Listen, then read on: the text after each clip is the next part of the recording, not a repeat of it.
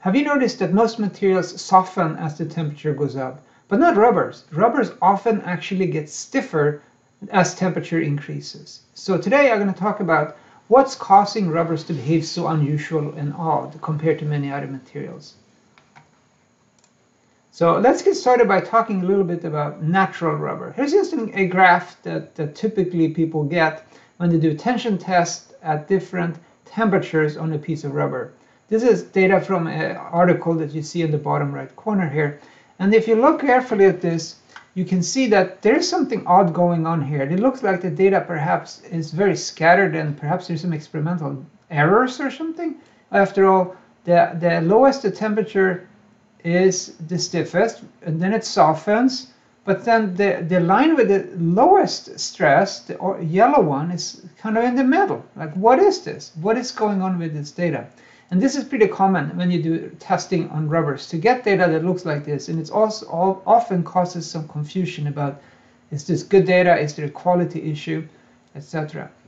You can also plot the data from, from that data set in a different way. So this is still natural rubber, and I plotted stress versus temperature. So this is a little odd perhaps, but if you go uh, with increasing temperatures, um, you see that the stress values for a given strain tends to go down a little bit here, depending on the strain value. So it seems to be softening in this particular case with natural rubber, uh, as we often see. But if we look at an unfilled silicone, so here's another material that behaves very differently here. So this is a modulus, it's actually the storage modulus, but the Young's modulus would be the same. It's a function of temperature. And from very, very low temperature, we see that the, the Young's modulus is very large, 300 plus megapascals. It's a glassy material. So we are below the glass transition temperature here.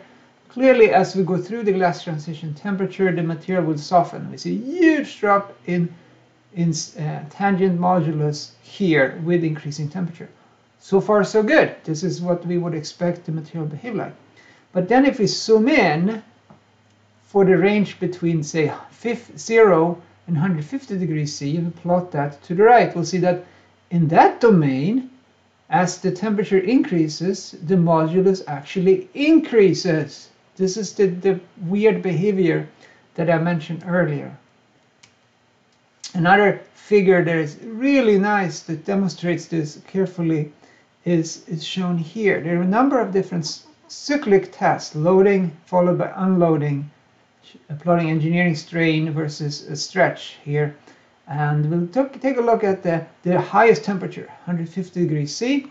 Uh, it's very stiff and it has very little hysteresis, load and unload.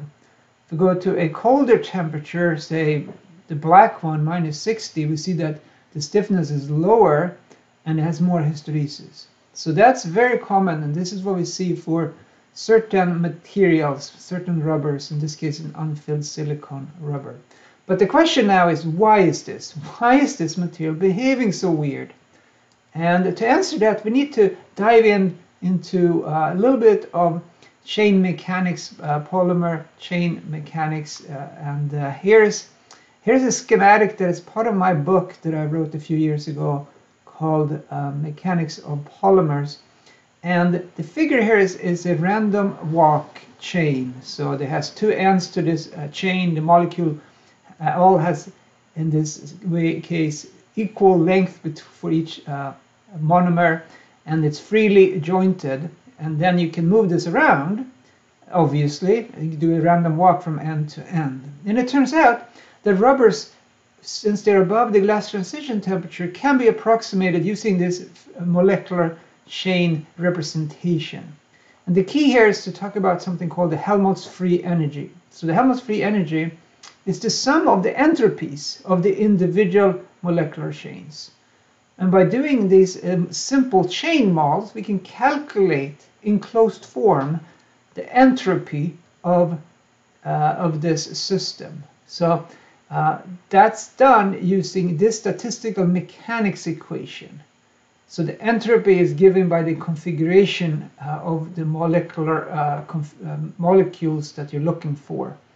And uh, you can show uh, and that was done by Flory some time ago, that this is the, the main equation that drives the, the probability space. And uh, it turns out you can simplify this equation and come up with, with basically a, a very precise equation for the Helmholtz free energy for that configuration. And one can show that the free energy has two parts. One has the energy part and one is the entropy part as shown here. And the entropy is determined by the configurational space of the molecules. And as you stretch out your mole molecules, you reduce the entropy because you reduce the number of uh, possibilities for the molecules to be in. So by reducing the, the possible configurations, you will uh, change the entropy in that way, reduce the entropy. And that's contributing to the free energy of the rubber itself. And uh, that's interesting because you see that the, the entropy here uh, is in this energy equation by multiplying it with the absolute temperature, theta zero. And by doing these kinds of arguments, one can show and calculate the energy and entropy related uh, for uh, different uh, hyperelastic uh, some material models like the Arruda-Boyce eight-chain model.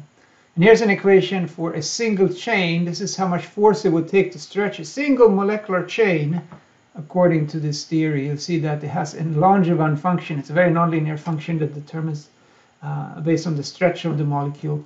But then it's proportional to the temperature. And that's really the key for my argument here. When we're talking about rubbers, the force the entropy contributes to the force by a proportionality to the absolute temperature. So we go back to this image here again that I showed a minute ago. We'll see that, well, uh, once we're above Tg, um, we have a situation that if the material is driven and dominated by entropy change, then the modulus should increase with temperature and there should be a constant slope like this. And that's what we see. That's what was seen in this particular case for an unfilled, uh, unfilled silicone rubber. So to summarize, for rubbers, when you increase the temperature, there are two factors that contribute to what happens to the response. One is the energy that's stored in the material, and one is the entropy that's changing as the material is being stretched out. The energy is often dictated by fillers and, and uh, energetic effects associated with the filler, filler and molecule interactions. The entropy itself is just a configuration of them. So depending on what kind of rubber it is, these two effects will be active at once. And sometimes the energy is uh, dominating, and then you will see that the modulus decreases with temperature. Sometimes entropy is dominating, then it will increase. So these two effects, it will controls the ultimate temperature dependence of your rubber material. So that's how it works. I hope this was useful. If you have any questions, you can ask them below.